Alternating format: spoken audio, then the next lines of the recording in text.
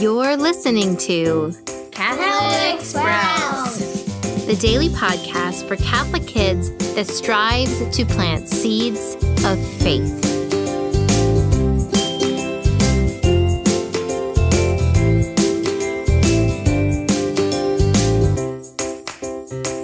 Hey there, Sprouts. Today is Monday, November 18th, 2019. This week on the Catholic Sprouts podcast, we are talking about the sixth gift of the Holy Spirit, and that gift is understanding. So, to review quickly, let's go down to the bottom of the ladder and climb up rung by rung to cover the gifts that we have already talked about. So, step one, fear of the Lord. Step two, piety, meaning prayerful, loving appreciation of God. Step three, knowledge. Step four, fortitude or strength when we face temptation or hardship. The next one, which we talked about last week, step five is counsel, meaning opening ourselves up to God's guidance for how we use these gifts of the Holy Spirit. And this week, understanding.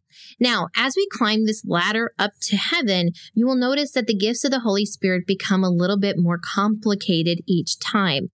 For example, we've already talked about how knowledge is a gift of the Holy Spirit, knowing things about our faith and knowing if they are true or if they fit into the overall teaching of the church. Well, what is the difference between knowing and understanding? Well, that's what we're going to talk about today. There is actually a big difference between knowing and understanding. In fact, man or human beings, which you are, are defined by their ability to understand. The ability to understand is what makes you different from your pets. Your dogs and your cats Sure, they can know all sorts of things. We know things through our senses. We know that a stove is hot by touching it.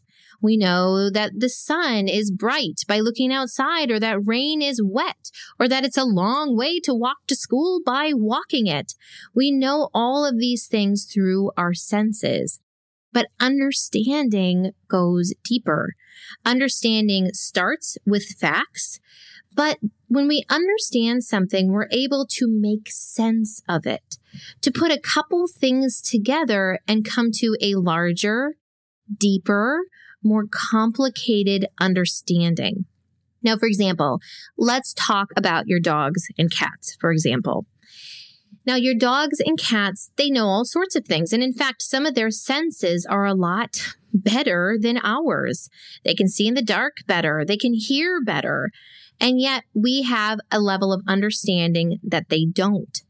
For example, a cat would never sit around and think about what it means to be a cat. They would also never worry about things like, what will I do in the future? Do people really love and like me? They would never worry about those things because they're a cat. And yet for us, we're constantly thinking about those things.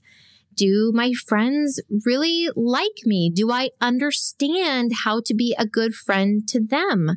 Do I spend my time the best way I can?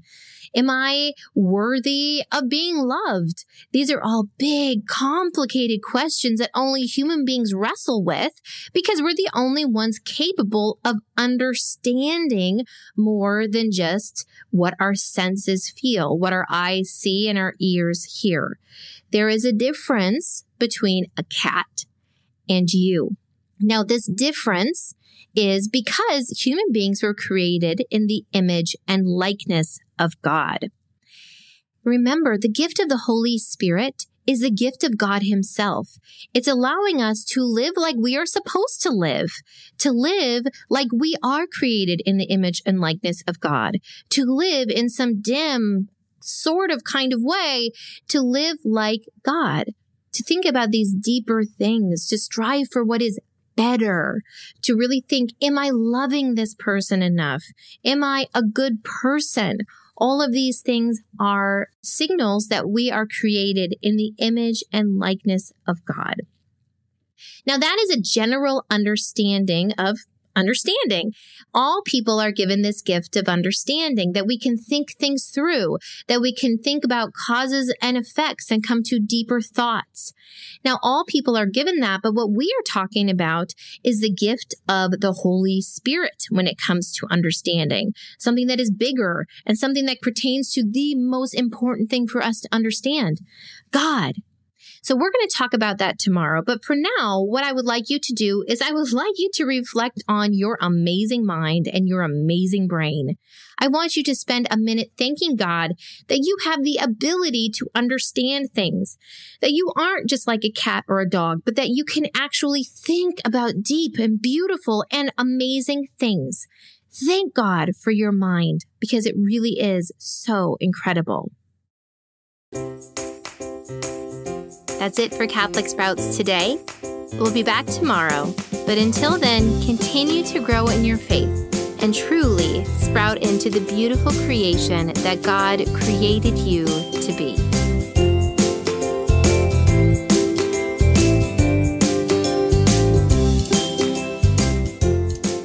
Well, Advent's right around the corner. If you're planning to do the Jesse tree this year, I encourage you to go and grab a booklet comes with all sorts of fun materials for your family. The booklet includes all of the resources that you will need to do this beautiful Advent practice and prepare you and your family for Christmas. Also, for all those that purchased last year or have already purchased this year, there are some great additions, including a calendar to help you stay on track and the O antiphons that you can use at the very end of Advent. These will all be coming your way soon. You can grab your own booklet if you head to CatholicSprouts.com forward slash Jesse dash tree, or you can just find the direct link to it in the notes for this podcast episode.